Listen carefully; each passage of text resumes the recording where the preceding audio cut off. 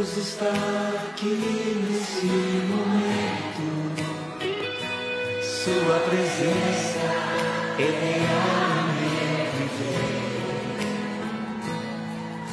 Entregue sobre seus problemas. Fale com quem?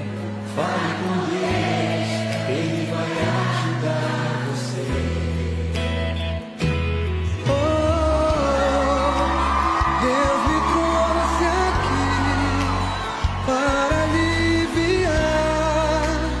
Os meus